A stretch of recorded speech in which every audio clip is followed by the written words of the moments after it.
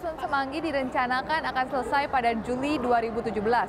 Jalan layang sepanjang 1.622 meter ini menelan biaya hingga 360 miliar rupiah.